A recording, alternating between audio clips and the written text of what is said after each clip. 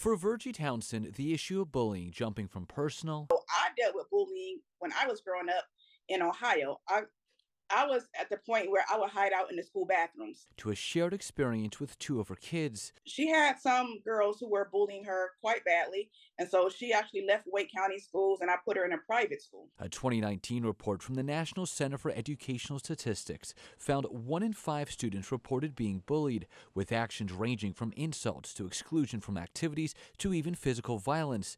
Tuesday, Wake County Public Schools taking measures to enhance its policy, broadening the definition of bullying, including level of engagement or isolation as a differentiating characteristic, while also clarifying that a student's discomfort around classroom topics, discussion, or management itself is not a violation.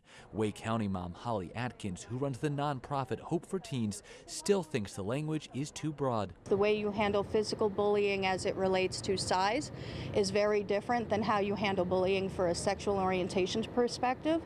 And being able to understand the differences and how you handle those is going to be something they need to do going forward. Atkins also believes the district should take a more proactive approach in addressing bullying, including for off campus incidents. School Board Vice Chair Chris Heagarty signaling his support for further exploring ways to address these cases. We can show that off campus behavior that has a real and measurable impact to the health and safety of students on campus or is directly related to school function or school activity mm-hmm. is something that we can take some action toward.